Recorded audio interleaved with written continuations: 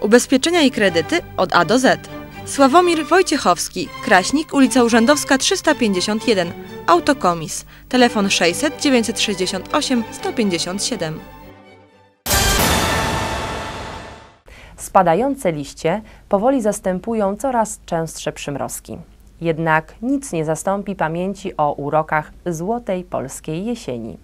Dzieci z przedszkola nr 5 wraz z nauczycielami zorganizowały jesienny bal, w którym znalazły się tańce i recytacje wierszyków.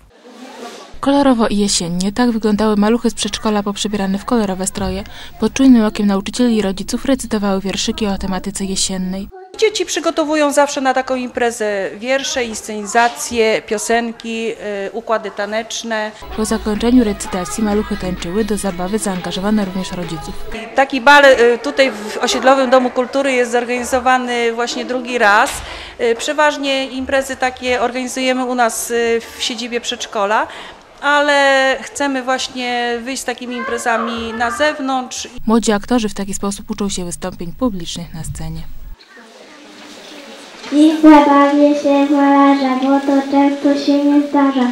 Raz do roku świat maluje, letnie barwy posejmuje.